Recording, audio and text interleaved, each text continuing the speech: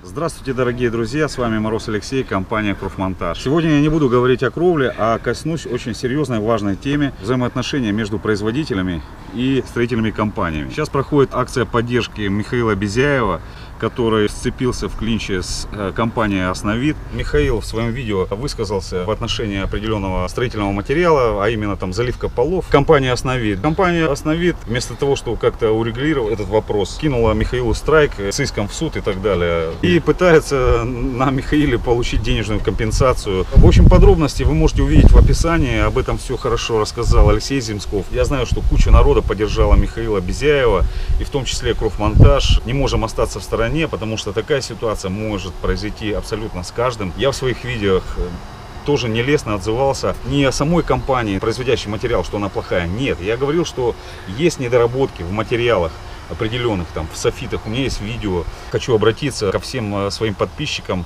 Поддержите эту акцию в поддержку Михаила Безяева. Я уверен, что компания Основит найдет э, в себе моральные силы, смелость и решительность и загладит с Михаилом этот конфликт. Найдут они золотую середину, потому что, э, уважаемые производители, строительный бизнес устроен так, что мы в друг друге заинтересованы, мы ведем бизнес только совместно. Не гоже так. Сегодня может так произойти с Михаилом Безяевым, а Завтра также на меня могут подать суд любой э, производитель каких-то кровельных материалов, о котором я нелестно высказался. Мы выступаем в поддержку Михаила Безяева. Мы из Испании и наш ответ компании «Говновид».